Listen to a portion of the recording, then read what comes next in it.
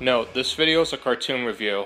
If you want to see actual clips of the episode, links are provided in the description. Hello everyone, Jack here. Welcome to a short review of Meg Goes to College.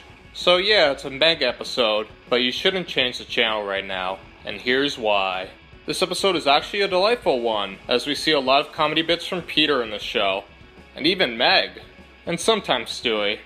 So for the A plot, Peter and Lois are concerned about Meg going to a good college and they commit fraud on her admissions application. And the B plot is one of those Stewie Brian plots where Stewie ropes Brian in into going to a gym.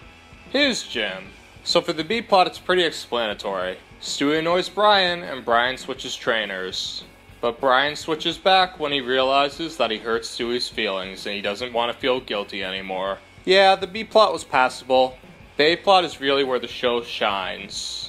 After Peter and Lois get Megan to the prestigious Brown University, the one that Brian went to, after you know Peter did a couple of favors for Principal Shepherd, Meg studies hard, and Peter tags along, doing all the fun stuff in college without the studying, or whatever he thinks college is.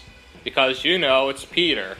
He even joins a fart yeah, they did even break the fourth wall and told you it was the easiest setup in Family Guy history. So what's your punchline? Let us know in the comments. Eventually, Peter annoys Meg so much with his carefree, whimsical attitude that she is frustrated by him and tells him off. And then Peter tells Meg that he forged her application. And unfortunately, a nearby dean is around and suspends Meg.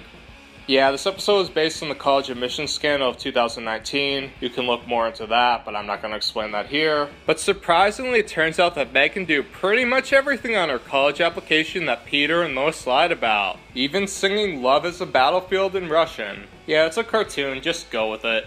There's just one thing she can't do windsurfing. And of course, the deans make her do that, after all the impressive stuff that she already did. And of course, she's the one who gets hurt because of Peter and Lois's recklessness. Sheesh, they should be going to jail. But this episode was a lot of fun. Go check it out if you haven't already. And if you want to be like Peter and join the Fart I Delta PU, don't forget to like and subscribe this video. You'll definitely get in. Okay everyone, that was all for this short review. Let us know your thoughts on the episode in the comment section down below. And as always, have a wonderful day. This is Jack turning off the TV. See you all next time.